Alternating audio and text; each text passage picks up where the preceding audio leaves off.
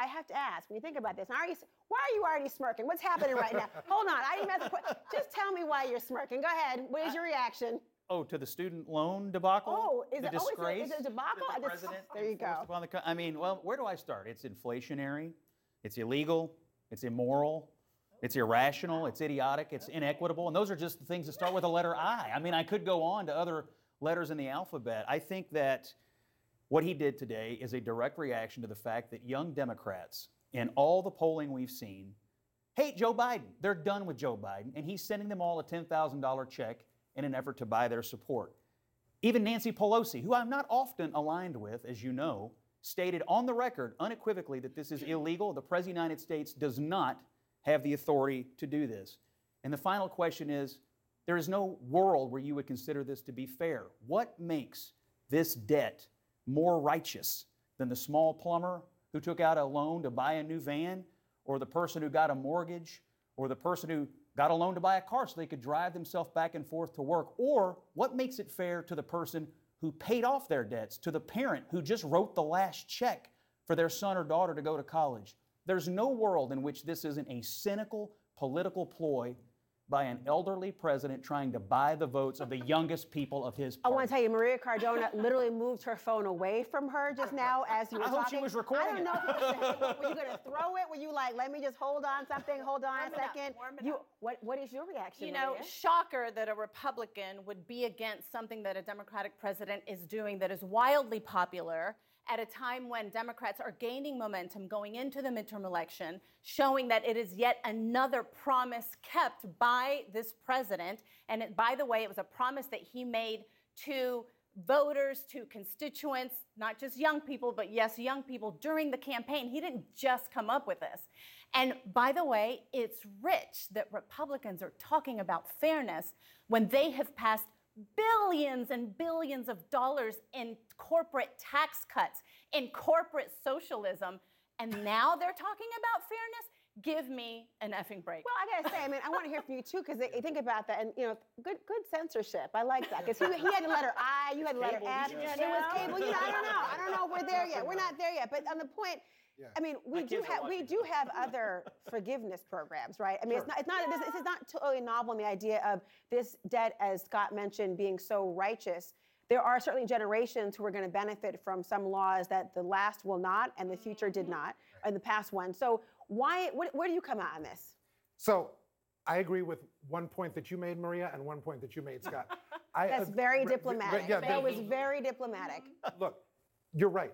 This kind of debt is not more righteous than a small business loan. One difference, though small business loan, other kinds of personal debt, you can discharge in bankruptcy. Right now, you can't discharge mm-hmm. this in bankruptcy. Treasury Secretary Summers the other day proposed doing that instead of this, but it still stands there right now. This is debt that people are really dragging along.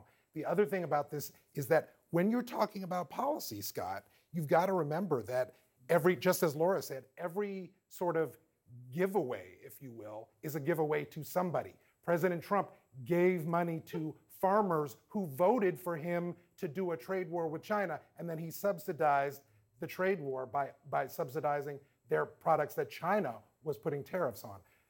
President Trump did the 2017 tax cut, and that was a sort of a giveaway in a lot of people's eyes to uh, wealthier Who- who- Americans. Well, money hold do on. you but- think it is? Well, before I, So well, hold the- on. I mean, it's a- it's before we get tax. there, no, excuse me. Before I get there, though, I want to put out this, and this, this will infuse the conversation because we're talking about equity and fairness. We know a part of the Biden administration has been about intergenerational wealth and fairness, particularly in communities of color. And I want to take a pause, and we, we mentioned the student debt plan, but I want to look at who it will actually impact. I mean, look at the screen there.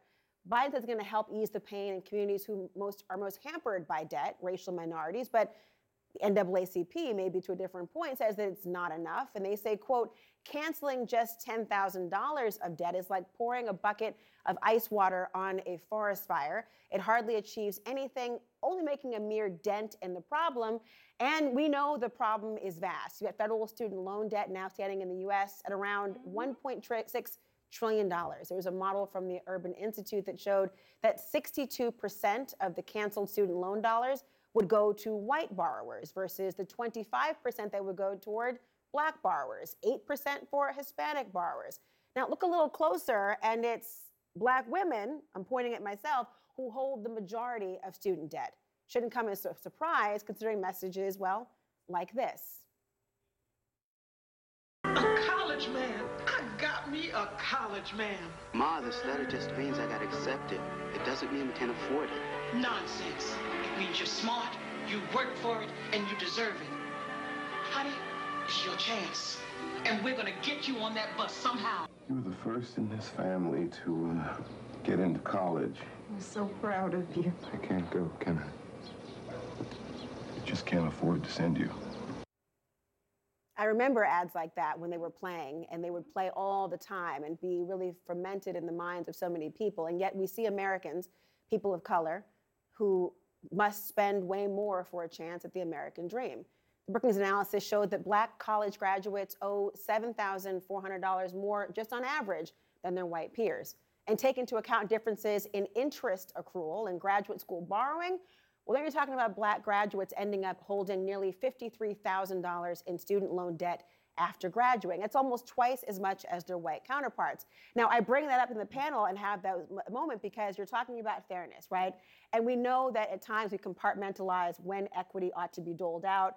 But equality is not like pie, right? You don't get less because I get a piece. Right. But it's a part of the conversation. How do you? How does that change? Does it change or influence you at all? Oh, I, I, I think some of these things are extremely fair. And I think every time you peel a layer back, like you just did on the difference between white borrowers and African American borrowers, you see how little thought was put into this. But the part of Joe Biden's political base that he is most worried about are these young, white, privileged, liberal, gender studies majors who are so unhappy with him, none of them want to support this guy for president again.